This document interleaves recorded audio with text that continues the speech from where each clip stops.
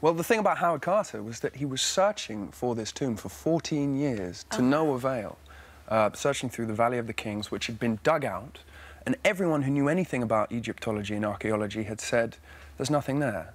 But Carter was a sort of stubborn man and, and Single-minded. single-minded and tenacious, and he knew it was he knew it was there, and he pieced together bits of evidence from here and there, and found it. And of course, he needed the financial backing in order to do that. Yes, he did. And he had a friendship with a man called Lord Carnarvon, who funded his entire dig. Uh, and it was an odd friendship.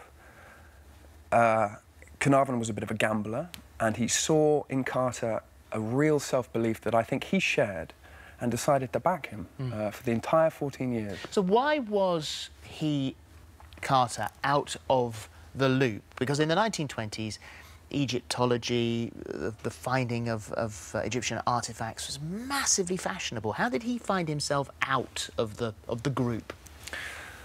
Well, Egyptology, it was a sort of upper class pursuit. It was incredibly fashionable, and people from France, from, from America, from England would, would fly out there, and they'd bring their wife and kids, and they'd build these enormous hotels in the middle of the desert with every sort of modern comfort. And then in the afternoon, the men would go out and, and dig around in the sand. But Carter had sort of learnt on the job with various people. Uh, he didn't have a formal education, he didn't have a formal training in Egyptology, and he learnt very much, uh, you know, with his hands in the sand, so to speak. Uh, and because of that, he was outside of the, the circle. He, was, he wasn't considered sound. He didn't do things the done way. But it allowed him to develop a, a more forensic, a more scientific approach, which wasn't at that point used by others, which allowed him to achieve the things he achieved. And how much did you know of the story yourself?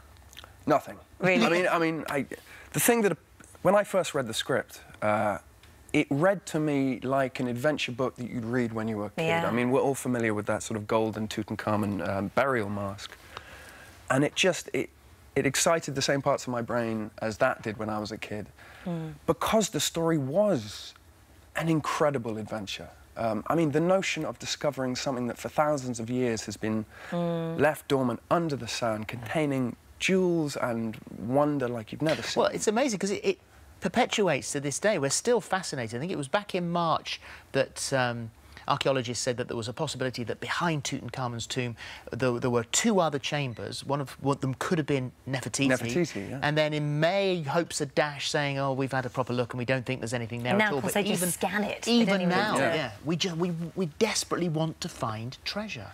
I know, and, and the other amazing thing was that all the other burial chambers were looted thousands of years before the likes of Carter were there. So the notion of there being an intact royal tomb, it was, you know, it was a myth, it was a joke. No one would take anyone seriously for saying that sort of thing. But Carter believed it. How did you recreate it in Namibia? Well, we were in the middle of the desert. I'm, ne- I'm never going back, frankly. It was, it was the worst. Jumping spiders, which Who taught spiders to jump? to jump on you. You approach them, you think they'd jump away. But no, You they- would. I mean, what is the point of that?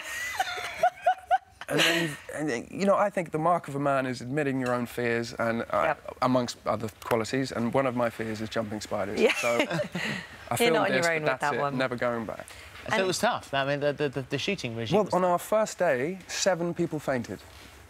Oh, gosh. Yeah, it was a little tough. But the uh, the set is incredibly realistic. You said that when the the holes were drilled, you could see the recreation of the treasures on the other Well, side. Well, yeah, we had an incredible set designer who built the entire uh, dig, the, the entire trench network in the desert, but then also we, we, we converted a, an abandoned football stadium in Cape Town in South Africa into, into the, the inside of the tomb.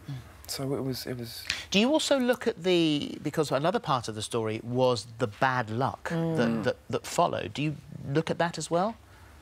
I mean, our story ended before that. Right. Uh, Oh, that's Oh, good. no, so wait. you That's go back and do some more then. then. there you go. um, but no, I, I, I think... Uh, no, that, I, that, that didn't get my imagination, to be honest with you. Yeah. Yeah. Yeah. And, And, I, how soon after filming did you shave the moustache off? Immediately. did you? Immediately. It was impressive there. Is that all your own? Don't get me on that. It took me f- three months to, to get to that position.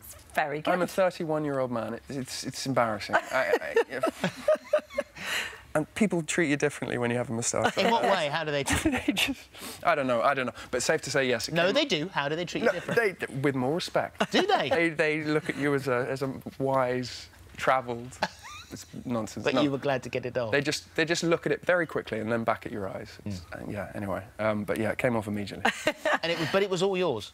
well, we had to. So we span 30 years. So I had to age up and down. So the the the easiest way for us to do it was just to add a bit more body into the moustache. So the early days, it's all me, and then as it goes on, uh, Slightly less. For more of the same, just click here and don't forget you can subscribe for even more of these amazing videos exclusive to our channel. You have to take your clothes off.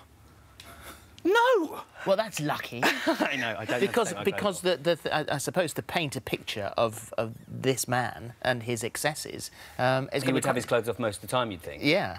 Yeah, we see bits of that, I suppose, and we see uh, we see there's one. Uh, he the king commissions him to write something, gives him a chance to show show his true talents, and he comes up with this. His one play that he wrote was extraordinarily um, dirty, was and, and we get to see a bit of that.